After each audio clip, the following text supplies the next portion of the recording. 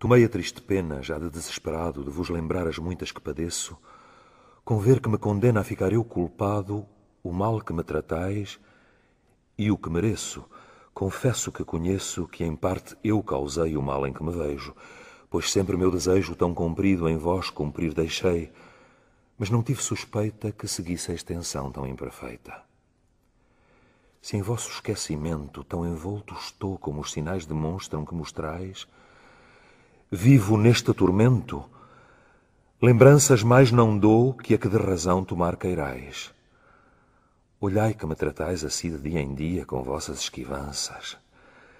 E as vossas esperanças, de que vãmente eu me enriquecia, renovam a memória, pois com tê-la de vós só tenho glória. E se isto conhecesseis que é verdade pura, como o ouro de Arábia reluzente, ainda que não quisesseis a condição tão dura mudareis noutra muito diferente. E eu, como inocente que estou neste caso, isto em mãos pusera, de quem sentença dera que ficasse o direito justo e raso, se não arreciara que a vós por mim e a mim por vós matara. Em vós escrita vi vossa grande dureza, e na alma escrita está que de vós vive. Não que acabasse ali sua grande firmeza o triste desengano que então tive, porque antes que a dor prive de todo meus sentidos, ao grande tormento acode o entendimento com dois fortes soldados guarnecidos de rica pedraria que ficam sendo minha luz e guia. Destes acompanhado, estou posto sem medo a tudo que o fatal destino ordena.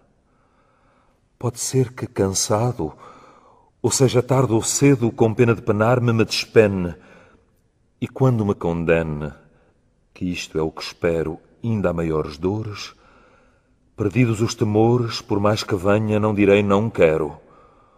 Contudo, estou tão forte que nem me mudará a mesma morte. Canção se já não queres ver tanta crueldade, lá vás onde verás minha verdade.